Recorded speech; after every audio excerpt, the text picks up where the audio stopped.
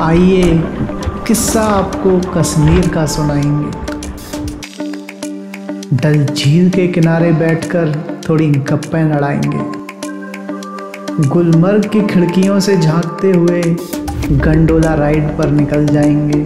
Kashmir valley में उस ऊँचे पहाड़ पर खड़े होके ज़ोर ज़ोर से चिल्लाएँगे। उन छोटे बच्चों के साथ आज हम भी बच्चे बन जाएँगे। लोग मरने के बाद जन्नत जाते हैं।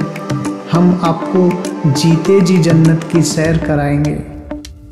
किस्सा आपको कश्मीर का सुनाएँगे।